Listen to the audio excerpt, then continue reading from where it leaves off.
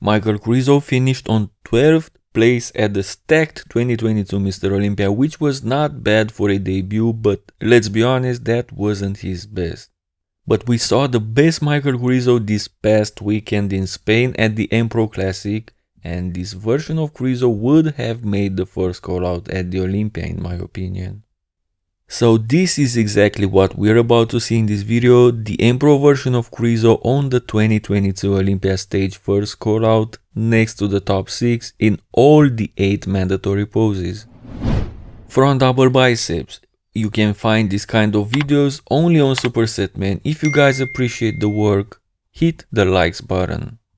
We have 7 guys in front of us. I won't turn this video into a 7 man comparison, but rather I want to give you guys an idea on how Michael Krizo at his 100% conditioning wise looks against the very best in the world.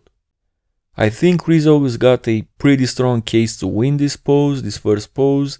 His guns match the best guns on this stage, the guns of Nick Walker, while being taller and having a better overall flow. His pose doesn't flow as good as Hadi or Derek, but uh, he compensates with overall size and the guns, of course. Brandon doesn't stand a chance against this Krizo in my opinion, he's too watery. As for Samson and Ramy, I already compared them separately to this version of Krizo using their better versions from the Arnold Classic and they both kinda lost. Find links to these videos in the description. Front lat spread and as established, Samson, Ramy and Brandon are no match to this version of Krizo at least not in my opinion. So I'm gonna focus more on the top 3 against Krizo meaning Hadi, Derek and Nick. I believe Michael Krizo wins the front lat spread pose against this entire lineup. Side chest and Krizo looks great through the upper body, possibly the best, but he really needs to step up the lower body as well to be more competitive. He gets exposed standing between Derek and Nick, not to mention Big Ramy. Back double biceps and considering that Derek and Nick had the best backs at this show, Krizo looks quite impressive standing in between them, at least as far as the upper body is concerned.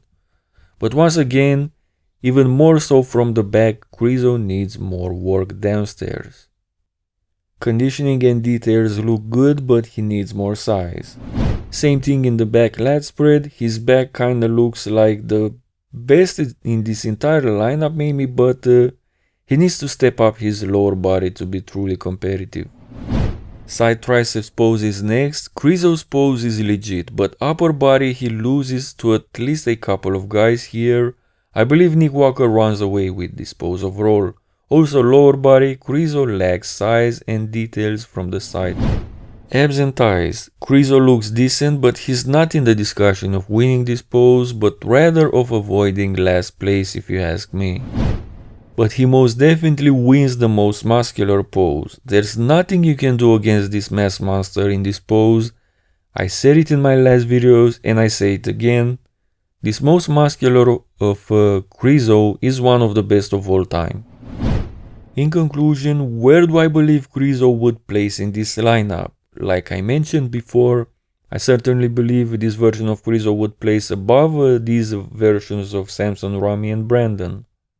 Also based on the pictures, he definitely challenges all three guys from the top 3 and he is a real threat for any of them, especially in the upper body. However, his lower body lets him down for the moment and if you also count the bad posing style and his inability to stay locked in a pose without constantly shaking, I don't think he would beat these uh, three guys.